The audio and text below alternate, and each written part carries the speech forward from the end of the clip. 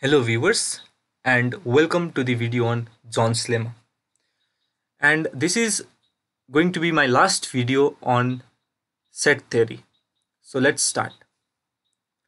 Suppose that suppose X is any non-empty set okay and rho is a relation defined on set X and suppose that if the defined relation rho on set X is partially partial order. Okay. If this defined relation rho on set X is a partial order then we already know that then X is called poset basically partially ordered set. Or X equipped with this relation this partial order is poset okay.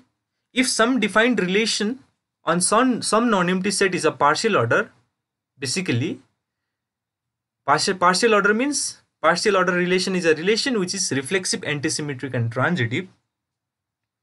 Then the set on which the partial order is defined is called partially ordered set or it is also called poset okay now, if you recall the definition of chain, then chain is nothing but the totally ordered subset of partially ordered set. Okay, it is nothing but the totally ordered subset of partially ordered set. And it is always possible to get at least one chain. Okay, if we have some if we have some partially ordered set, then it is always possible to get at least one chain or at least one totally ordered subset of partially ordered set. Okay? Suppose x is a poset that means some that means uh, some relation is defined on x and that is reflexive antisymmetric and transitive.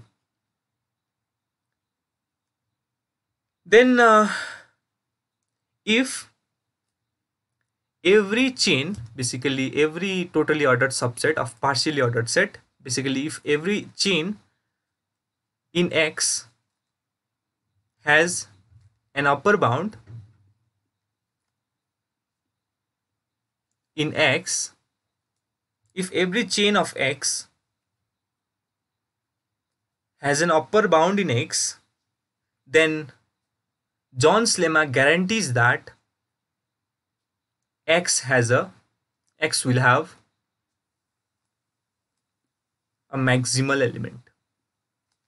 Okay? This is the statement of Zorn's lemma if we have some partially ordered set and if every chain of that partially ordered set say x has an upper bound in x then Zorn's lemma guarantees that x will have a maximal element. Okay? You all are familiar with what is meant by a maximal element. Okay so this is the statement of Zorn's lemma. Statement of Zorn's lemma.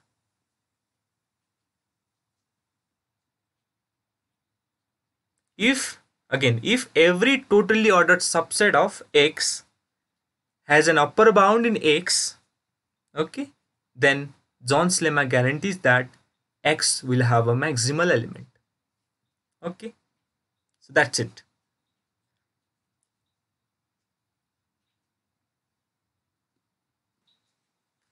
and there is one more thing and that is actually Zorn's lemma and axiom of choice are equivalent.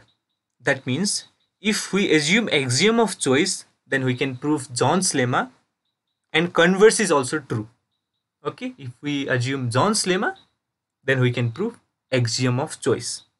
But we shall not go into the proof of those like we shall not go into the go into that kind of equi- like that kind of equivalence. But just remember that Zorn's lemma and axiom of choice are equivalent okay? If we assume one then we can we can prove other. And if we assume other, other then we can prove converse is also true. That means converse is also true okay?